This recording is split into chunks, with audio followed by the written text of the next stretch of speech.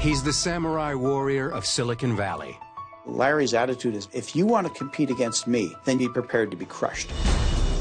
Larry Ellison started Oracle Software over 30 years ago, and it has made him the highest paid executive over the last decade, with a total compensation of $1.84 billion. There was nobody better than Larry at making a customer believe that he could change that person's business life with his product. He sees around the corner well before many of us get to the end of the street. He'll do whatever it takes to win in the office. SAP, the German software firm, was ordered to pay Oracle $1.3 billion. Or on the ocean. There is absolutely no doubt that he hates to lose. His company's technology has become the backbone of the world's information systems, from government to online commerce. The brazen billionaire is an ambitious provocateur with a singular management style. I have a theory that Larry's succession plan for Oracle is he is trying to figure out a way that when he's six feet under in a grave, he can still run Oracle.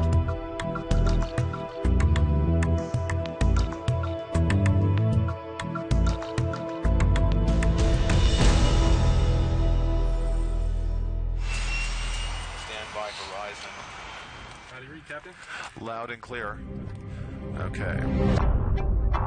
If you know anything about Oracle's Larry Ellison, it probably goes something like this. I've got a Bugatti, the fastest car in the world. His home cost $200 million. The fastest sailboat that's ever been built. I'm addicted to winning. The more you win, the more you want to win. He's a high-flying adrenaline junkie and an unapologetic collector of expensive toys and real estate. That really takes my mind off of work. He spent $400 million to bring the 2010 America's Cup, the oldest active trophy in sports, back to America for the first time in 15 years. But his success comes from something far less flashy. Some of the world's most essential software.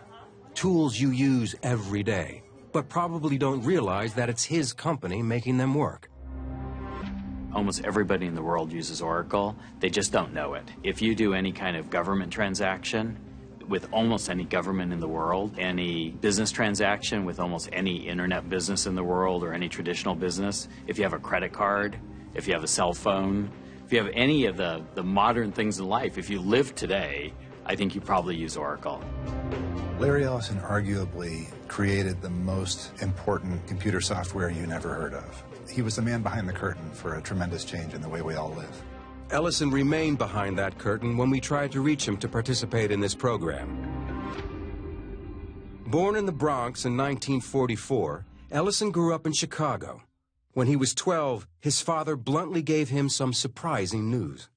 My dad just said right before dinner, oh, by the way, you were adopted, and we're having meatloaf tonight. It was so shocking, I just put it away and thought about it for years without really you know, confronting all and realizing all of the implications. He dropped out of college twice. Ellison was a mediocre student and disliked formal education. Mike Wilson is an editor for the St. Petersburg Times and interviewed Ellison extensively for his biography. Larry was not interested in following the rules at school, in the family, or anywhere else. Larry needed to get out from underneath the shadow of Louis Ellison and prove to his father that he could make something of himself. His flair for the fast lane was obvious early. Larry went out and bought himself a turquoise blue Thunderbird. He was a stylish guy. He wanted to impress people. He got in that car and he drove it to California. Larry Ellison was a, a young man with a great deal of potential. His trip to California was critical to who he would become. Ellison settled in Berkeley and set out to make a living writing code. In 1973, he worked at the computer electronics maker Amdahl. There, he met Stuart Feigin. They've remained friends for over 35 years. I went into my cubicle on the first day I worked there, and across the hall were a couple of guys who never seemed to do any work. They just talked all the time. And one of them did nothing but talk about himself, how smart he was, how stupid everyone else was, and how he really ought to be running everything. And that was Larry Ellison. Ellison was a talented but impatient programmer, desperate to find something of his own to control. To say he, he had the attention span of a tumbleweed is to overestimate it. I would say more the attention span of a lightning bolt. But his attention focused when he landed a job at a company called Ampex. Ampex was struggling with a project funded by, of all places, the information driven CIA. The project was codenamed Oracle. The CIA needed a system to store and retrieve vast amounts of foreign intelligence, concerned with its various sensitive operations and missions. For Ellison, it was the job of a lifetime and would plant the seeds for his future. In the 1970s, information storage meant putting data on reel to reel tape, which was just too slow and inconsistent for the CIA, and too slow for Ellison. He left Ampex and later started his own company with his friend and programming genius, Bob Miner. Bob and Larry were a perfect odd couple for Silicon Valley. Bob had all of the engineering smarts, the technical ability. Larry, on the other hand, had the sales ability, the visionary ability, the, the ability to go to a customer and explain, here's how your business can change. With this original handwritten sign and $1,200, they started Software Development Laboratories, or SDL. Ellison recruited friends Ed Oates and Stuart Feigin to help program. He did want me to join him, uh, and he's going to start some kind of company. And I thought that was the stupidest idea I'd ever heard because Larry wasn't famous for finishing things. I used to say he's a total flake and he'll never amount to anything, and I was half right. Ellison's new company needed a product. And after reading an obscure IBM research paper, he thought he had it a method of sorting information that was vastly superior to anything that had come before. It was called a relational database. According to Gary Bloom, who worked with Ellison for 14 years, it was a complex name, but a simple idea. Relational database, what, you know, what, it, what is it? It's a collection of data and information that's very simply put into a format that makes it very easy to search and find that information. It's nothing more complicated than that. IBM didn't see the potential of what they had. Ellison did. I said, oh my God, we can beat IBM to market because IBM doesn't believe in their own idea. Ellison believed and asked programmer Bruce Scott to start writing code. For me, it's just cool technology and kind of fun. But for Larry, you know, he saw a company out of it. He saw a market out of it. We weren't sure Larry was right, but we needed the jobs. Uh, and it was a struggle all the time. Larry was was uh, under a lot of pressure to get some money in somehow.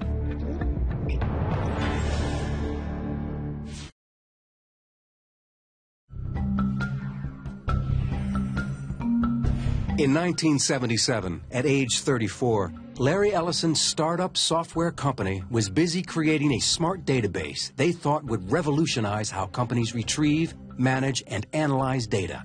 Three rooms and a little lobby area there were four of us who were writing programs. Larry was mostly involved in finding customers. And that was a, a bizarre idea because we had no software. So all the things that you would read in books of somebody being a, a leader, he wasn't. But he was tenacious. He would never give up on anything. Ellison chased and cajoled customers, becoming the company's chief evangelist. There was nobody better than Larry at making a business person, making a customer believe that he could change that person's business life with his product. Knowing they still needed a smarter solution for the monumental task of managing worldwide intelligence, Ellison sold his database to the CIA, his first customer. He called the new software Oracle Version 2. There was no version 1 because everyone thought, uh, well, no one buys version 1, it's buggy. So we started with version 2. Well, our version 2 was at least as buggy as anyone's version 1, and I describe those early versions as the, the Roach Motel of databases. The data went in, but it didn't come out. In 1982, Ellison also took the name Oracle for his company. He targeted government agencies and major corporations in his own unique way. I remember him telling me very distinctly one time, Bruce, we can't be successful unless we lie to customers. For some reason, Larry told uh, the Bank of America, I think he told us there were 15 of us, when in fact there were five of us. Now, I'm not sure why the Bank of America would think differently of you if you're five or 15. But Larry had given them a number which was a little larger than reality. Ellison also was sharpening a sales philosophy rooted in a trip he had taken to Japan in the early 1970s. I was in Japan and I was talking to a Japanese business executive, and, and uh, he told me, uh, you know, that, that the problem with America is that we just have no stomach for competition. In Japan, we believe our competitors are stealing the rice out of, out of the mouths of our, uh, you know, of, of, our children. In Japan, we think anything less than 100% market share is not enough. His take no prisoners approach became known as the Oracle Way. The Oracle Way in the early to mid 80s was just to win, um, almost by any means necessary. Larry's attitude is if, if you want to compete against me, then you better be prepared to be crushed, uh, or don't compete against me. His product, the Oracle database, took off like a jet fighter in one of his ads. And in 1986, Oracle went public. His 39% stake in the company was worth a stunning $93 million. The IPO was a huge hit, but was overshadowed the very next day by Microsoft's public offering, which made Bill Gates' stake worth a whopping $350 million. In 1989, Ellison moved Oracle to this mammoth campus in Redwood Shores, California, which became known as the Emerald City, a reference to the Wizard of Oz, or as one newspaper described it, Larryland. And everyone knew who was the wizard. When I ordered a Ferrari 348, and I was going to get the first 348 in California, um, Larry ordered one from somewhere on the East Coast and got it shipped in before I got mine. He didn't want to be the second one, he wanted to be the first one. His obsession to be first took its toll. Oracle hit a wall. The, these aggressive sales practices uh, started to cause serious problems.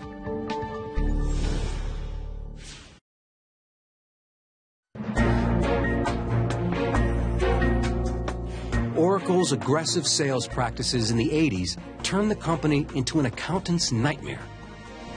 The sales force was so aggressive, so willing to close a deal, and there were so few business controls over the makeup of those deals. Then we started having the problem of we certainly signed some bad contracts. They were also selling products that hadn't yet been created. Oracle was selling a lot of futures, so you were taking a lot of money in, a lot of revenue in for future deliverables. Well, then the question comes when you finally have those deliverables, now who do you sell them to? You already sold it to everybody. You sold it to them three years before you had it. It didn't help the company's prospects that their latest product was a dud. Oracle version 6 was riddled with bugs. Customers were frustrated and sales plummeted. It's sometimes characterized as the near death experience of Oracle in the early 90s, and it was. We weren't cutting fat, we were cutting into muscle, and you might even say we're in a couple of cases, we're cutting a couple limbs off. With Oracle's stock price in freefall, so was Ellison's personal fortune. By November 1st, 1990, he had lost $790 million. His company was nearly a billion dollar operation, and it was failing. Larry was trying to achieve this greatness. He was uh, building towards that all the time, and now uh, he was, uh, in a sense, a laughing stock. It was devastating for him. We're all a bunch of kids that grew up in the business. And uh, we weren't kids anymore, and the business wasn't a little business anymore, it was big business, and we had to replace virtually all of senior management. And it was a very painful process. He convinced well known management and sales consultant Ray Lane to join the company. And what he brought was what I'd characterize as operational discipline and a maturity around this is how a big business runs. It was chaotic, it was painful. Nobody wanted to go through that again. And so the culture was kind of reset. But the company's real savior came in the form of a new product. Zach Nelson was Oracle's youngest marketing executive. Oracle 7 was a spectacular product. The future was incredibly bright. And uh, I think everybody within Oracle at that time certainly knew it and could sense it. It wasn't just incrementally better, it was orders of magnitude better. Ellison's company had dodged its near death experience. In 1994, Oracle revenues passed the $2 billion mark, and his stock as a result was worth nearly $3 billion. For Ellison, that wasn't nearly enough. To become software's sole heavyweight, Ellison knew he had to pick a fight with the reigning champion, Bill Gates. He seemed to be personally disappointed he wasn't wealthier than Bill Gates. It's the scorecard. And if you weren't number one, if you weren't richest, you weren't on the top. You weren't the best. It was the scorecard, and he was losing.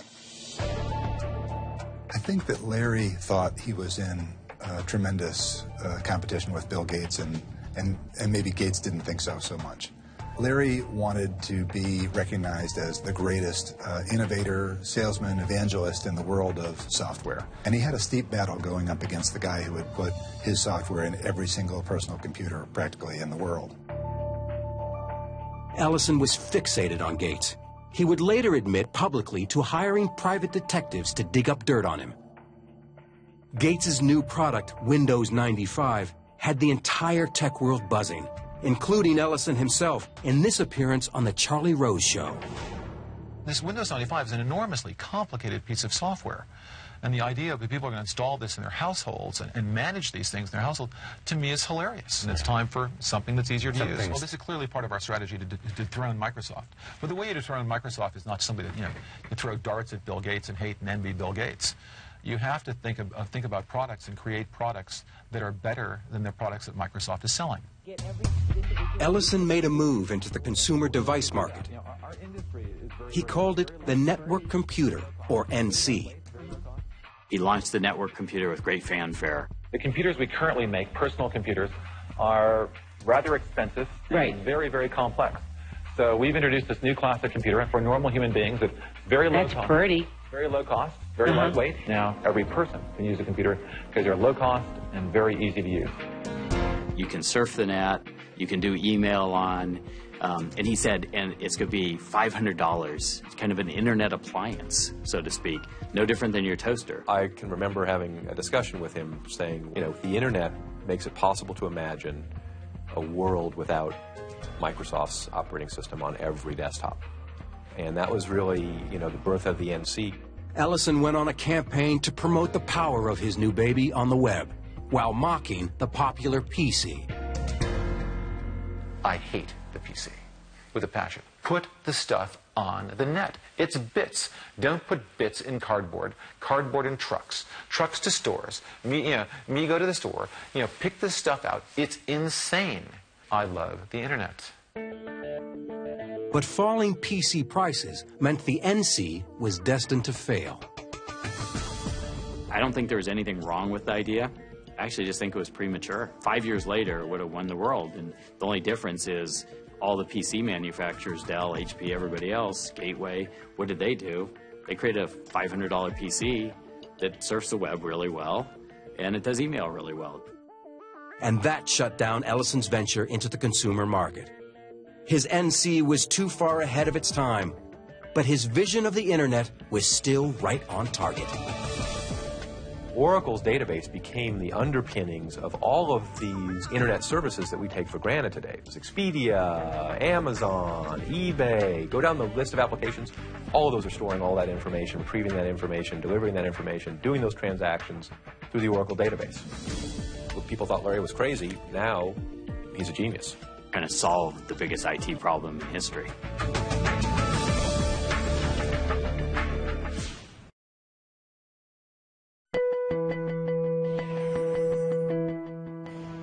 By 2000, Larry Ellison's company, Oracle, was among the elite tech companies in the world. But internal struggles would soon force out the company's president and chief operating officer, Ray Lane, who had risen to second in command and heir apparent. He described the culture at the company he left. It wasn't good enough for a salesman to make their quota. They had to make 200% of their quota. It was you know, the top 10% get rewarded millions, and everybody else, you know, falls by the web. They're weak soldiers. Shoot them. A departing Lane said he didn't fit into Oracle's system and that the only person making decisions at Oracle is Larry. Lots of people that transitioned in and out of Oracle got confused who was in charge. And that's a pretty volatile, that's like a galactic collision, you know, where two stars hit and it's a pretty violent explosion. Oracle, the company, was on a roll, but was lagging behind in one key area. We're still fighting to be relevant in the applications world. We're the number two application provider in the world, and we're number two in ERP behind SAP. Boy, this number two is getting old. We're number two. Not for long. We're number two. We're number two in uh, CRM behind Siebel, but we're growing faster than SAP, and we're growing faster than Siebel, and we're determined to become number one in applications, as like we're number one in database. To get to number one, Ellison needed to do something his company had long avoided buying new technology through acquisitions. When he came to that conclusion, he opened his wallet and bet far bigger than anyone else did. And in fact, he did it far faster than anyone else did. Ellison wanted to bundle new application software with Oracle's successful product line. In 2003, he targeted the company PeopleSoft in a hostile takeover attempt. The Department of Justice sued Oracle on antitrust grounds, charging the takeover would empower the company to illegally raise rates and impair innovation. After a year and a half long battle, the courts sided with Oracle. Ellison finally acquired PeopleSoft for $10.3 billion. It's very rare that someone gets sued by the government and they actually win. you know, I mean, it's just another testament to this guy's tenacity. Most guys would have maybe walked away from that. Instead, Ellison stepped it up. Over the next five years, he would spend close to $34 billion acquiring 52 companies. Heather Bellini is Senior Managing Director of the Technology Research Team at International Strategy and Investment Group. She has covered Oracle since 2003. He started looking out and seeing how the landscape was, was changing and how the carnage that was done to some of his competitors was going to give him an opportunity to go make some acquisitions and buy some technology where he was behind.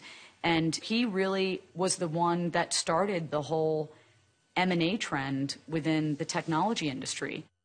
Ellison's appetite for acquisitions accelerated in 2009 with his $7.4 billion trophy purchase of the prominent hardware company Sun Microsystems. But in 2010, his eyes were on another trophy a decade long $400 million obsession. BMW Oracle Racing was launched in 2000 for Ellison's run at the America's Cup. It may be the oldest active prize in international sport, but what Ellison created was entirely new. The boat is a trimaran. It often appears to be nearly flying with only one of its three hulls actually in contact with the water. The oceans have never seen anything like it. There is absolutely no doubt that he hates to lose. There is no doubt of that at all. Grant Dalton has competed against Ellison on the America's Cup circuit. My recollection in racing against him, and we will race against him in the future, is this is a man that's very determined to win. On Valentine's Day 2010, Ellison brought the America's Cup back to the United States for the first time in 15 years.